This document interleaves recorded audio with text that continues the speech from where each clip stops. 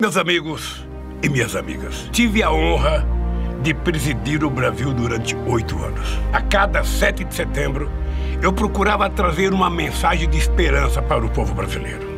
Recordo que muitas vezes anunciei boas notícias nessa data, porque o Brasil, naquele tempo, era um país em que a vida das pessoas estavam mudando para melhor. A cada dia mais empregos eram criados, o salário crescia, os jovens, negros e filhos de trabalhadores chegavam à universidade. As oportunidades se abriam para quem precisava ter uma chance.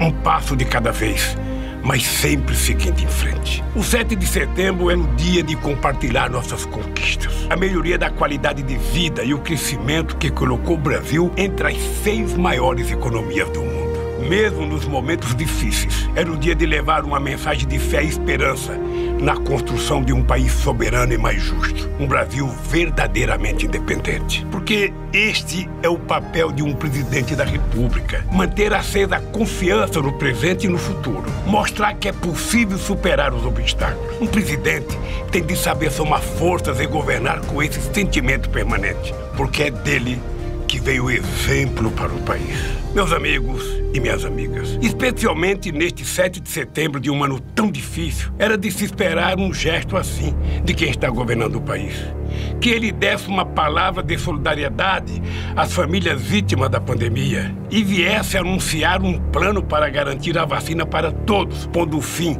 a essa angústia que a população está vivendo. Era de se esperar dele um plano para gerar empregos, que desse um alento aos trabalhadores, que viesse dizer que a Petrobras vai voltar a vender gasolina pelo custo real e não mais pelo preço do dólar, porque foi essa política errada que fez disparar o preço dos combustíveis que apresentasse medida para baixar o preço dos alimentos para garantir um mínimo de dignidade a quem está na fila do osso. Mas ao invés de anunciar soluções para o país, o que ele faz neste dia é chamar as pessoas para a confrontação. É convocar atos contra os poderes da República, contra a democracia que ele nunca respeitou. Ao invés de somar, estimula a divisão, o ódio e a violência definitivamente não é isso que o Brasil espera de um presidente. Meus amigos e minhas amigas, eu não preciso dizer os números do custo de vida, do desemprego, da falta de investimento, da pandemia,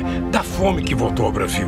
Basta sair na rua para ver que o brasileiro está sentindo na pele a destruição do país. Mas hoje eu estou aqui para dizer que, apesar de tudo, o Brasil tem jeito. Que é possível sim criar emprego novamente, que o salário deve crescer e ganhar a corrida contra a inflação, que é possível produzir comida saudável a preço justo para colocar na mesa das famílias outra vez. Porque o nosso povo tem toda a capacidade de recuperar esse país, de fazer o Brasil voltar a crescer e proporcionar vida com qualidade para todos. Meus amigos e minhas amigas, o Brasil andou para trás porque o governo federal parou de investir no crescimento e nos programas que ajudam o povo. Cortar as verbas das escolas, dos hospitais, da agricultura familiar, encolher o Bolsa Família. E nenhum país do mundo, nenhum, vai para frente sem investimento público. Parar as obras que geram emprego e fazem a economia crescer. E, ao mesmo tempo,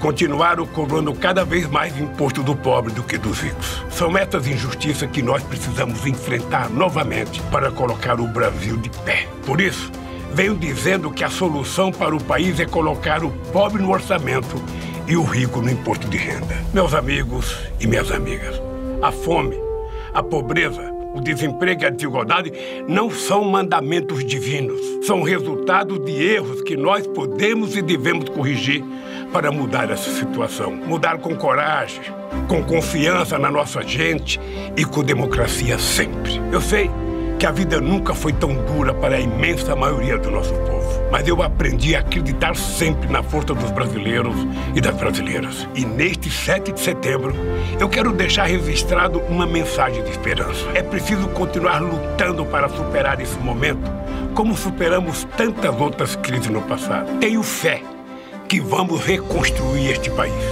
com justiça, soberania e oportunidades para nós, para nossos filhos e nossos netos. Acreditem, o Brasil tem jeito. Muito obrigado e viva o 7 de setembro.